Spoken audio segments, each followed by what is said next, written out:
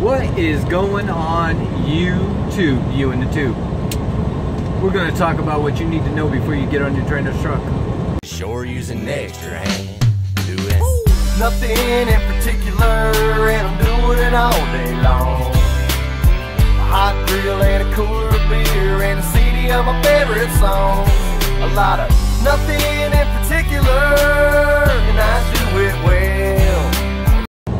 All right, so congratulations. You have completed your training, well, at least the school part of it. You went to the DMV or at the school or MPV, wherever. Most I know it's different in every state they, what they call their damn shit. But you passed, you got your CDL, you're ready to become a truck driver. First and foremost, the first thing you need to understand probably 98% of the shit you just learned in school, pre-trip, how to go backwards and forwards, how to offset, how to parallel park, all that shit you could throw right out the window. Because you're about ready to step into the real world.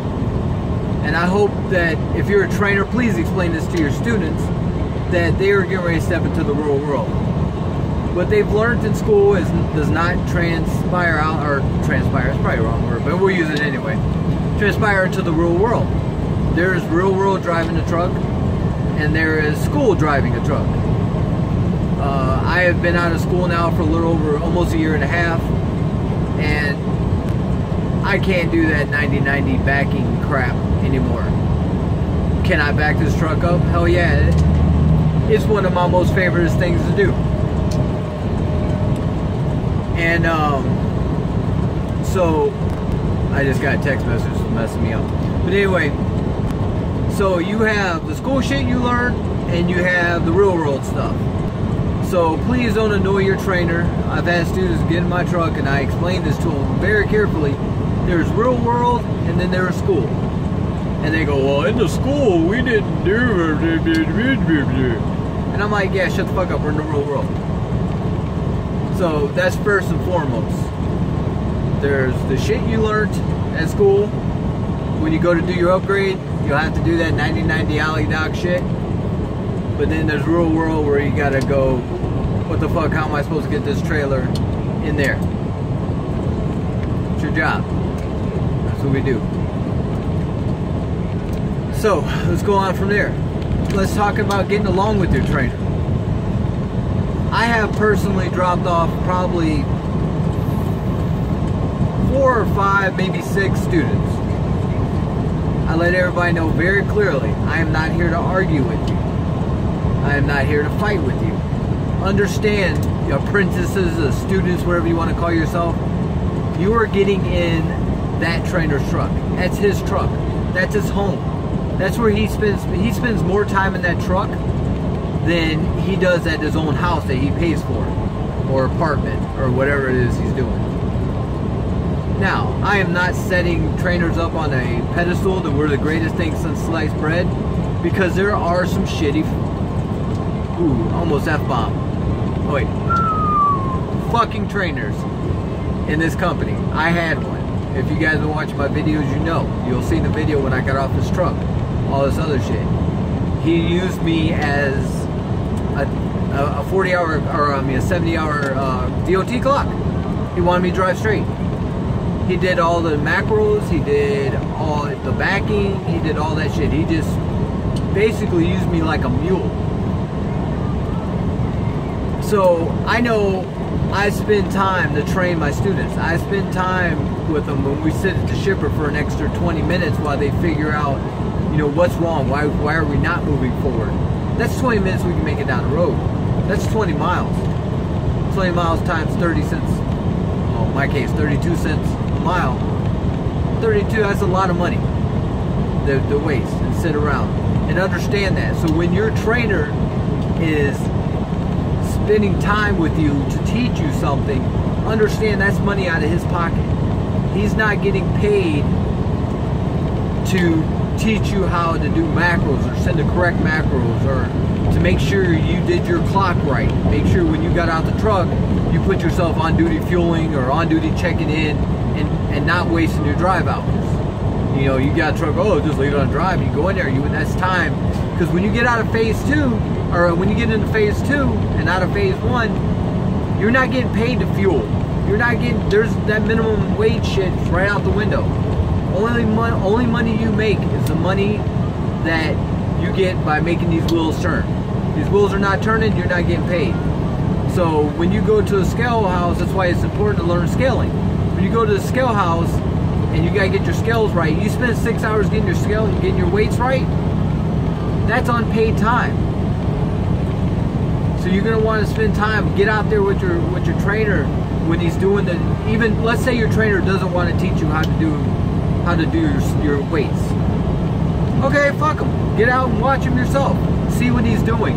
Try to learn. Watch YouTube videos. Do I mean obviously you're watching YouTube videos, you're watching one now. So get out there and learn as much as you can because when you if you waste two hours getting your weights right, that's two hours of unpaid money. That's 120 miles, 124 miles to be exact, but that's a lot of money that's not going in your paycheck. That's coming out of your time. You know, you may be off off your uh, 11 hour clock, but you're still running on your 14. So if you waste two hours, now you only have 12 hours to get 11 hours done of driving. Let's say if it takes you four hours, now you got 10 hours to get 11 hours of driving done. That's money coming out of your pocket. And I don't know about all y'all out there. I know everybody got into trucking for whatever reason they got into it. Like, oh, I want to drive a truck, which is perfectly fine. It just wasn't my reason while why I got in, which will be my next follow-up video. So stay tuned. You, I I know I'm in this truck to make money. And with that being said, I also want to train my students. I'm not here to to just use them as a time clock use them to make me have big ass checks because they just move, move, run, run. No, I'm going to train them the same way because I want them to learn. I already, I've been doing this long enough. I know how my checks are going to go. I know they're shitty at the beginning when I get a new student and they get progressively better because the student gets progressively better. And, you know, I know when the student completes me and get off, gets off my truck, not me putting them off, that they're going to be safe going forward. So that's it. So basically, don't don't argue with your trainer. If your trainer's an asshole, suck it up. You're only with them for like three to four weeks. That's a very short time. Very, very short time. I mean, so, and if your trainer's awesome, that's cool. If your trainer's way too awesome and doesn't teach you shit and tries to be your buddy, that's not teaching you anything. That's not going to make you become a good driver. This is serious shit out on these roads driving these trucks. This isn't the school going backwards and forwards, backwards and forwards, then go offset, now I'm going to parallel. You go, oh, the bell runs, let's go back to the hotel room and sit there and have lunch and laugh and joke with my friends. This is not it is. I mean, we're, we just hit eight minutes on this video. I'm to cut this up real quick. So, be prepared. Like, go ahead and hit the like button, hit, hit the uh, subscribe button if you already have it. If you already have, that's awesome. Thank you very much.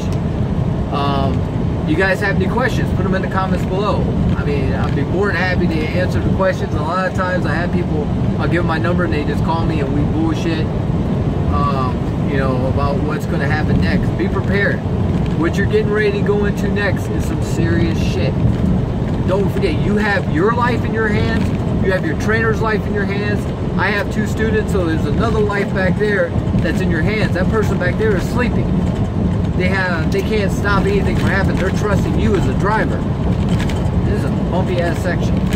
But um and then you have general public's life in your hands. So this is some very shit, serious shit. Take it serious. Don't think you know everything. Learn what you can from your from your trainer. And like I said, not all trainers are great, but there are some really good trainers out there. I mean, I've met some, you know, talking in the schools and stuff, you know, talking to other trainers, and there are some really damn good trainers. And it is hard to be a good trainer when you're dealing with with students that think they know everything, that want to argue, that want to argue and that want to fight with you and all this other stuff. You get to the point where you know, like, you know what, fuck it, you just drive forward and I'll make my money and then you go do what you, whatever else you got to do with in, in uh, your own truck. And it's tough not to think that way. Is super tough. Because I know I got into training because I want to be a trainer. I want to train. So, like I said, like and subscribe. Throw uh throw your throw your comments at the bottom. You got any questions? Get a hold of me. And like I always say, keep that left door closed, right foot down. Only when it's safe. Make those miles, guys. Nothing in particular, and a cooler beer, and a CD of my favorite. A lot of nothing in particular, and I do it well.